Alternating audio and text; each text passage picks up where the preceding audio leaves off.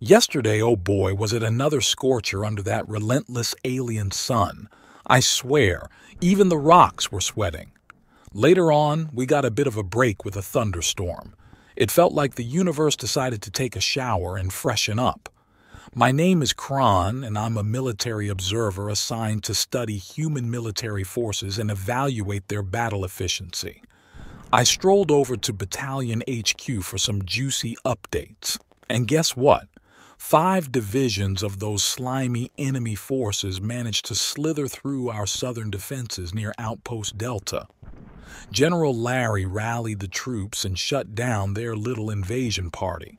Honestly, it's not his first rodeo. The guy deserves a medal or ten.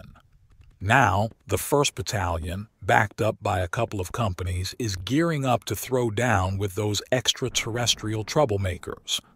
According to our Earth's calendar, we're in for at least eight cycles of this intergalactic showdown. As usual, I found myself trudging along our front lines, patching up my uniform like a spacefaring quilt maker. Seriously, if this war drags on any longer, I'll be rocking the latest fashion trend patch pants. Even in the dead of night, with darkness swallowing everything whole, there's a strange calmness in the air. Maybe too calm, if you catch my drift. Now, during one of our tactical escapades, the 1st Battalion stumbled upon some stubborn resistance from the enemy, forcing us to make a strategic retreat before nightfall. Talk about a buzzkill. And just when I was about to catch some Z's, the big boss man himself, our regimental commander, pays me a visit. After a quick chat, he hands me this fancy, honorable list of the Allied forces. Yeah, I'll be sure to FedEx that back to my home planet. Can't have awards cluttering up the place during a war, right? Day by day, we're inching closer to enemy settlement, like a cosmic game of chess.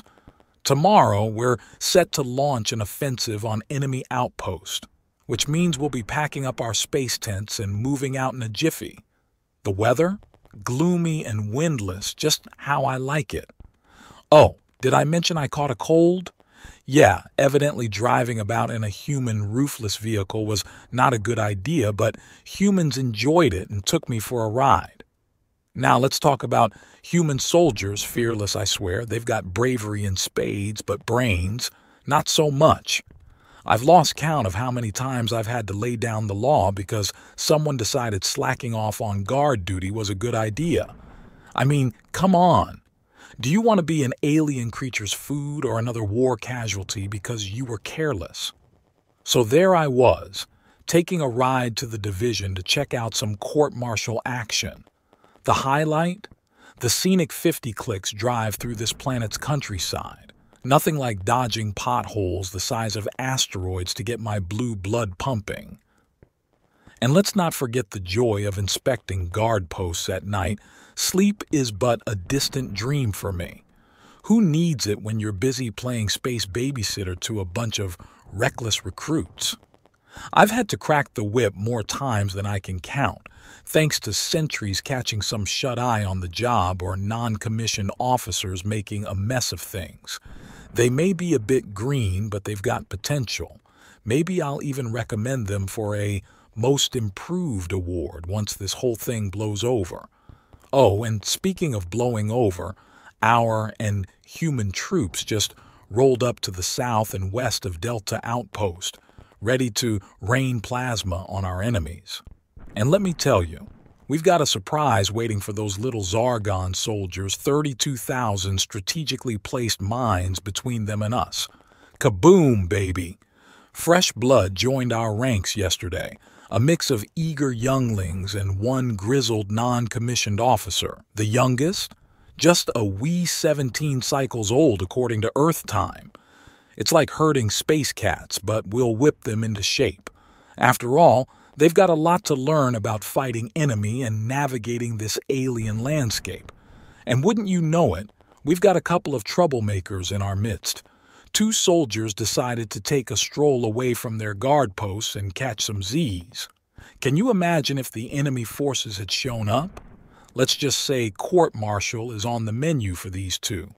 Then, just to add some spice to our war adventure, we had a little rendezvous with the 7th Company for a quick sortie. A bit of back and forth with the enemy, a few huts to search, and bam, mission accomplished. But not without some good old fashioned resistance, of course.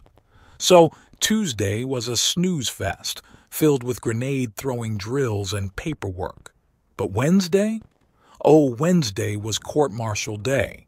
Two soldiers found themselves in hot water, one with a one way ticket to hard labor and the other to a cozy cell.